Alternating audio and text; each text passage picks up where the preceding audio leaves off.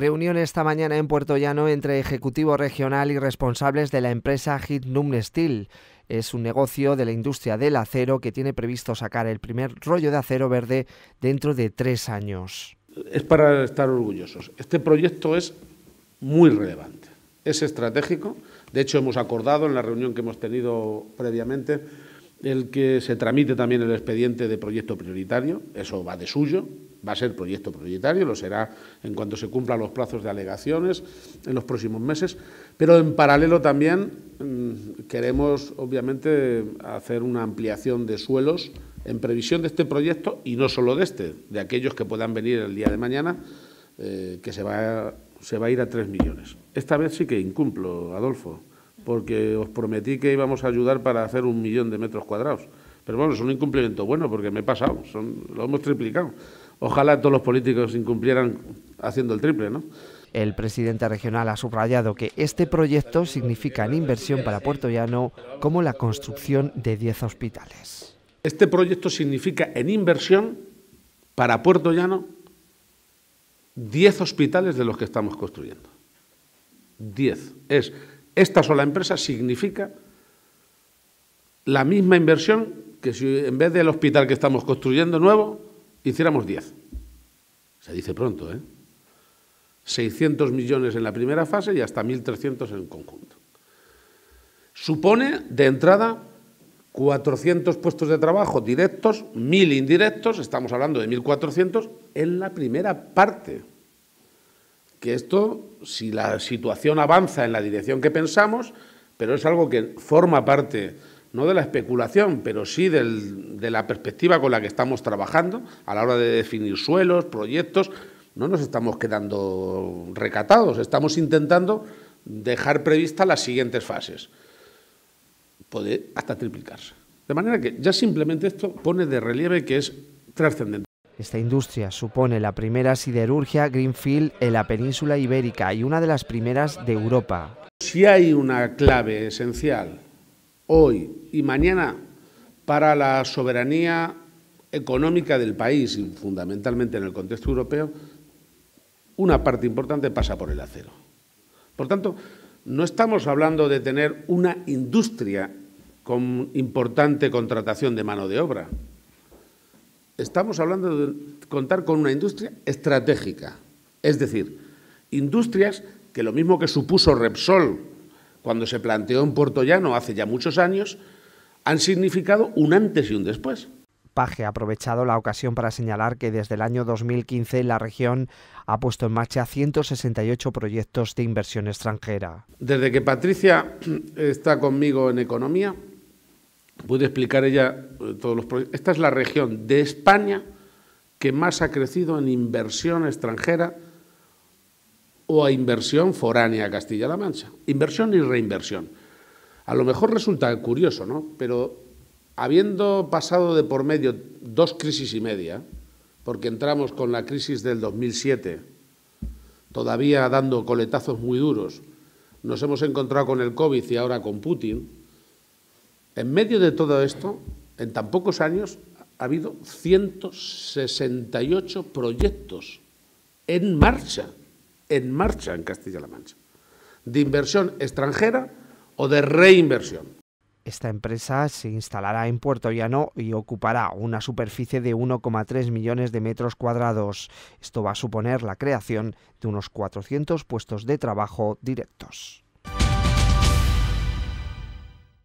El Consejo de Gobierno ha tomado en consideración el nuevo plan de atención a la infancia y la adolescencia en Castilla-La Mancha con horizonte 2023-2026. Su objetivo, proteger y fomentar la autonomía personal y garantizar la participación y el ejercicio de los derechos y la igualdad de oportunidades de la infancia y la familia. ¿Cuál es el objetivo principal? Pues proteger y fomentar la autonomía personal y garantizar la participación en el ejercicio de los derechos y la igualdad de oportunidades en nuestra región. Con este marco, como digo, lo que queremos es desarrollar políticas concretas destinadas a este colectivo y, sobre todo, adaptadas a los nuevos tiempos en los que vivimos. 75.000 niños, niñas y jóvenes y 35.000 familias de la región se van a beneficiar de forma directa de este plan que cuenta con un presupuesto de 45,7 millones de euros. Le ponemos un foco especial a la importancia que tiene el poder escuchar que tengan participación activa los menores para que también nos puedan trasladar cuáles son sus necesidades necesidades, sus vivencias, sus preocupaciones y también estar en el día a día, ¿no? en el día a día de las aulas, en el día a día de la calle, en el día a día de las familias. Y para ello lo desarrollamos mediante proyectos operativos en los que el Gobierno regional de Castilla-La Mancha invierte anualmente, va a invertir 45,7 millones de euros en estas políticas activas que van a, ayudar a través de servicios, centros y proyectos y programas a que podamos desarrollar eh, de una manera cuanto más eficaz el, proyecto de vida de todos estos niños y niñas, es decir, las políticas que queremos destinar para ellos. La consejera ha apuntado que este plan de infancia está amparado por la Ley de la Infancia que será aprobada próximamente en las Cortes de Castilla-La Mancha. Un plan ambicioso que lo que viene es a recoger principalmente eh, las políticas que queremos como Gobierno llevar a cabo para proteger a una sociedad, a una sociedad vulnerable, que son la, sociedad infantil, los niños y niñas de Castilla-La Mancha, pero también, además, eh, amparándonos y trabajándolo en una ley que vamos a aprobar dentro de muy poquito en las Cortes Generales de Castilla-La Mancha, la Ley de Infancia y Familia, una ley que recoge la obligatoriedad de generar un plan, de tener una ruta de un, camino, una, una hoja de ruta y también recoge la obligatoriedad de poder trabajar en la prevención, proteger al tercer sector, proteger a los profesionales que trabajan cada día con nuestros niños y con nuestras niñas y que nos ayudan a que sin ninguna duda crezcamos y seamos un éxito como sociedad en el futuro, porque así garantizamos un futuro para las próximas generaciones. Pretende analizar la situación actual y el impacto que tienen sobre la población infantil las transformaciones sociales, entre otras cuestiones. Se acerca el 8 de marzo y desde Diputación de Toledo organizan el Festival Únicas. Redoblan contenidos para conmemorar esta fecha.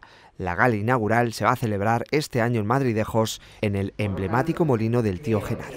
El Festival Únicas más ambicioso en cantidad y en contenidos. 31 municipios de la provincia serán los que acojan esas distintas actividades este año se incluye como novedad en la cartelería un código QR para quien lo desee pueda descargarse toda la programación en cualquier dispositivo móvil. Y es que vamos a hacerle más accesible para que la gente pueda acudir y pueda tenerlo más a mano. Y es que la cartelería de este año incluye un código QR en el cual a través del móvil se lo podrán descargar y cualquier toledano, cualquier toledana, cualquier visitante que esté interesado en alguna de estas actividades podrá tenerlo a mano para poder acudir a cualquier evento que le resulte interesante. Ana Gómez ha puesto en valor las actividades de las agentes dinamizadoras de igualdad durante todo el año, especialmente en el mes de marzo, que redoblan esfuerzos para llevar a cabo sus acciones. 222 actividades que las agentes de igualdad que tenemos distribuidas por toda la provincia van a llevar a cabo a lo largo de este mes de marzo. Actividades de muy diverso tipo, actividades artísticas, eh, charlas, actividades deportivas. Este mes de marzo, más que nunca, eh, las agentes de igualdad están promoviendo, en colaboración con los ayuntamientos en los que están trabajando, multitud de actividades para conseguir que marzo sea eso, el mes de la visibilización de la mujer y el mes eh, más reivindicativo del feminismo. La Asociación Red Madre Toledo ha organizado con motivo del Día de la Mujer su primera jornada en la que se realizarán diversas actividades como una mesa redonda. Igualdad, maternidad, se va a celebrar el próximo 1 de marzo en la sede de Fedeto. Van a intervenir eh, Amaya Azcona, que es la directora general de la Fundación Red Madre, Benigno Blanco, que es el presidente del Foro de la Familia, y Juan Carlos Girauta, que es periodista y abogado muy conocido. Dígame, buenos días. Sí, esto es Red Madre. Además, se llevarán a cabo jornadas de puertas abiertas en la sede de la asociación en la calle Diputación 5 los días 27 y 28 de febrero y finalizará con un concierto de la Filarmónica Hermética el próximo 2 de marzo en la venta de aires. Eventos que persiguen un objetivo, dar a conocer su trabajo. Está totalmente abandonada, sobre todo la mujer embarazada, que es a la persona que nosotros tratamos y, asistimos. Entonces, pues sobre todo estas jornadas son para dar visibilidad a nuestra asociación y a lo que hacemos. Solo en Toledo, 250 mujeres han sido atendidas el pasado año en esta red. Con la guerra de Ucrania han venido muchas extranjeras, también se aumenta el número de extranjeras porque también venían sin recursos y sin medios y muchas venían embarazadas o con niños pequeños. La pandemia se ha notado muchísimo también porque mucha gente se ha quedado sin empleo y entonces al retomar, y luego ha habido muchos embarazos también, y entonces al retomar otra vez la, la vida, pues han encontrado una situación que no se esperaban y han acudido también a nosotros. Y nosotros lo que hacemos es atender a toda mujer embarazada que viene en situación de vulnerabilidad a pedirnos ayuda. Ya por el hecho de quedar embarazada, eh, se encuentra sola, se encuentra sin recursos y nosotros desde aquí lo que hacemos es una labor de acompañamiento, de estar pendiente de ella, de acompañarla, que nunca en ningún momento se sienta sola y sobre todo una ayuda económica. O sea, todos sabemos lo que supone tener un bebé y la poca ayuda que hay ahora mismo a la, a la natalidad. O sea, no hay ayuda por ninguna parte y entonces nosotros desde aquí, a través de nuestros socios, que los únicos que nos nos, aportan algo económico, pues les ayudamos desde que el bebé, durante todo el embarazo las acompañamos y luego desde que el bebé nace hasta que tiene un año, un año y poco de, vida, no podemos más. Y es que no se ayuda nada a la natalidad, no hay ningún apoyo a la, natalidad y sobre todo no hay ayuda a la mujer. Estamos hablando de las jornadas de la mujer, del Día de la Mujer Trabajadora. Lo primero que hacen es negarle un trabajo cuando una mujer se queda embarazada. Entonces se encuentran que el, el hecho de estar embarazadas se quedan sin trabajo o eh, se les limitan al no tener ayuda, no tienen ayudas para guarderías, no pueden afrontar una maternidad. Entonces, mm, nosotros lo que intentamos es que las instituciones se impliquen y, por favor, ayuden a la mujer y sobre todo a la mujer embarazada, porque hay muchas ayudas para la mujer maltratada, pero para la mujer embarazada es que es un maltrato el que le está haciendo a la sociedad y sobre todo un niño. Un niño es un bien social que hay que proteger y no lo protege nadie. O sea, ya no solo a la mujer, sino al niño también que esa mujer lleva dentro. Una red solidaria de apoyo que asesora y ayuda a la mujer para superar cualquier conflicto surgido ante un embarazo imprevisto.